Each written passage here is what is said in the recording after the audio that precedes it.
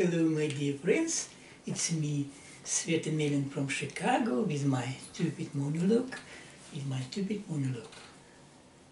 Thank you for watching my video. Thank you very much. I'm old lady from Chicago. I was born in Soviet Union, and you know, Soviet Union. It was very, very big country with a lot of people, different national. Uh, a lot of them was, was of course, of course Russian, maybe 60%, maybe more. No, about 60%. And another people was different national, Ukrainian, Belarusian, Armenian, Georgian, Azerbaijan, Pre-Baltic, Estonian, Latvian, Lithuanian, Kazakhstan, Turkmenistan, Uzbekistan, Kyrgyzstan, and we have we had 16 country in one big country. And after Soviet Union collapsed, it was a very sad time. I was in that time about 25 years old, and I was very young and very stupid artist. And I didn't think too much about this tragedy. Yes, yes, I was very easygoing. I drank. I used to drink a lot. Used to drink a lot, and I smoked a lot, and I liked ladies. In that time, I was not gay.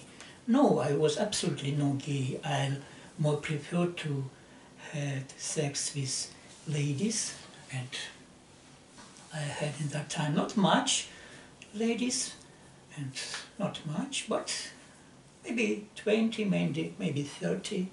In that time, I'm, I was very easygoing person. I like to chat a lot, and I like to. I was very th- thin, and after Soviet Union collapsed, I didn't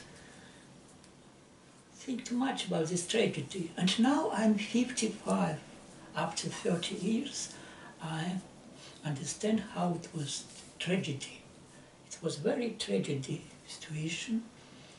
Just imagine you. I live now in the United States. Just imagine when if you United States collapsed on California, Oregon, Texas, Illinois, and it was it will be and border and no no it absolutely it's so stupid. No, I prefer to live in free world.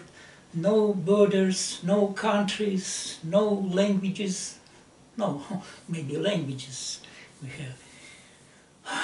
yes, yes, and now it's uh, I understand how it was tragedy.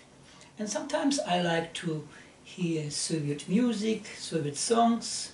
Голубой огонек, it was, we have a so uh, in New Year, Голубой огонек, it's uh, so when Soviet people, Soviet people watching TV with salad olivier, with champagne, with meat, bread meat, or and watching new program, singing and singing and music, and we like uh, yes all night, about three years, three hour, and I like that. I'm my memory, and I now I'm writing my memoir. About two years, I'm writing my memoir about past every year how I was free artist and how about my friends about my girlfriends, about my, not about my cross-dressing, of course, no, I don't, well, because cross-dressing began in my life more